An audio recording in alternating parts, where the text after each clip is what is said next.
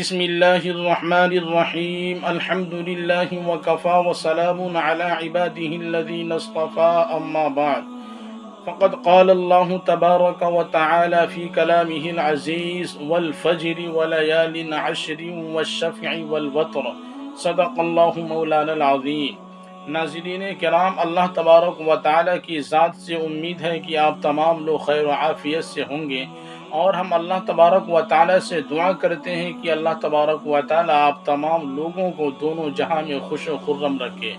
ناظرین کرام، ان قریب ہی عید الاضحیٰ کا وقت آنے والا ہے، قربانی کا وقت آنے والا ہے۔ اور قربانی اور عید الاضحیٰ کا تعلق ذی کے مہینہ سے ہے۔ چنانچہ ذی کا چاند بھی نظر آ گیا ہے اور ذی کی آج پہلی تاریخ ہے۔ لیکن یہ ذنحجہ کا مہینہ یوں تو پورے کا پورا مہینہ فضیلت اور برکت والا ہے، لیکن ذنحجہ کے پہلے عشرہ کی خاص طور پر فضیلت قرآن و احادیث کے اندر بیان کی گئی ہے۔ ناظرین کرام، ہم نے جو قرآن مقدس کی آیت پڑھی ہے، اس آیت کریمہ کا معنی یہ ہے کہ اللہ تبارک و تعالی نے فرمایا والفجری قسم ہے فجر کی ولیال عشر، اور قسم ہے دس راتوں کی، والشفع والوتر، اور قسم ہے شف اور وطر کی۔ اللہ تبارک و تعالی نے اس آیت کریمہ میں چار چیزوں کی قسم کھائی ہے، اور جس چیز کی اللہ تبارک و تعالی قسم کھاتے ہیں، اللہ کی قسم کھانے کی وجہ سے اس چیز کی عظمت اور فضیلت ظاہر ہو جاتی ہے۔ سب سے پہلی چیز جس کی اللہ تعالیٰ نے قسم کھائی ہے، فجر کی۔ ممکن ہے کہ ہر دن کی فجر مراد ہو یعنی ہر دن کی صبح صادق مراد ہو۔ اس لیے کہ صبح صادق کے بعد چونکہ روشنی ہوتی ہے اور دین کی شروعات ہو جاتی ہے، تو یہ عالم کے اندر ایک عظیم انقلاب لاتا ہے۔ جو اللہ تبارک و تعالی کی قدرت کاملہ کی طرف رہنمائی کرتی ہے۔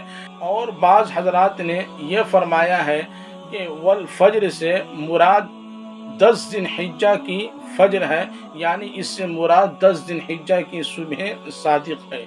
اسی طرح اللہ تبارک و تعالی نے بیان فرمایا، قسم ہے دس راتوں کی۔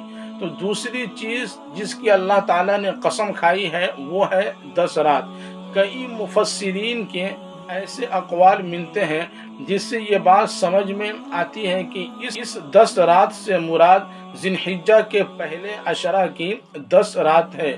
چنانچہ حدیث پاک میں بھی غور کرنے سے اور حدیث پاک سے بھی یہی بات سمجھ میں آتی ہے۔ ناظرین کرام، اسی طرح اللہ تبارک و تعالی نے تیسری اور چوتھی چیز کی جو قسم کھائی ہے، وہ ہے شفع اور وطر شفع سے مراد جورا ہے اور وطر سے مراد بے جورا ہے، جسے اردو میں طاق اور جفت بھی کہا جاتا ہے۔ اس سلسلے میں بھی مفسرین کی اقوال مختلف ہے مگر حدیث پاک سے یہ بات سمجھ میں آتی ہے کہ شفع سے مراد دس ذن حجہ ہے اور وطر سے مراد نو ذن حجہ یعنی عرفہ کا دن ہے۔ ناظرین کرام، اس قرآن کریم کی آیت سے ذن حجہ کی فضیلت معلوم ہوتی ہے اور خاص طور سے ذنحجہ کے پہلے عشرہ کی فضیلت معلوم ہوتی ہے۔ اسی طرح اللہ کے نبی علیہ السلام نے بیان فرمایا اور یہ ابو داود شریف کی روایت ہے۔ اللہ تعالیٰ کے نزدیک کسی بھی دن نیک عمل کرنا ذنحجہ کے پہلے عشرہ میں نیک عمل کرنے سے زیادہ محبوب اور پسندیدہ نہیں ہے۔ صحابہ کرام نے دریافت کیا کہ اے اللہ کے رسول صلی اللہ علیہ وسلم، کیا جہاد کرنے سے بھی افضل ہے؟ اللہ کے نبی علیہ السلام نے بیان فرمایا کہ ہاں جہاد کرنے سے بھی زیادہ افضل ہے ذنحجہ کے پہلے عشرہ میں نیک عمل کرنا۔ لیکن اللہ کے نبی علیہ السلام نے آگے یہ بیان فرمایا کہ اگر کوئی شخص اپنے جان اور مال کے ساتھ جہاد کرنے کے لیے جائے اور ان میں سے کسی ایک کے ساتھ نہ لوٹے مطلب یہ ہے کہ اپنے مال کے بھی، اپنے مال کو بھی جہاد میں قربان کر دے اور اپنی جان کو بھی قربان کر دے، تو پھر یہ عمل اشرع ذنحجہ میں عمل کرنے سے زیادہ پسندیدہ اور محبوب ہے تم اللہ کے راستے میں جہاد کرنے سے بھی افضل اشرع ذنحجہ میں نیک عمل کرنا ہے۔ اسی طرح سے اللہ کے نبی علیہ السلام والسلام نے ایک حدیث پاک میں ارشاد فرمایا، افضل ایام دنیا ایام العشر، کہ دنیا کے دنوں میں سب سے افضل دس دن ہیں۔ یعنی ذنحجہ کے پہلے دس دن۔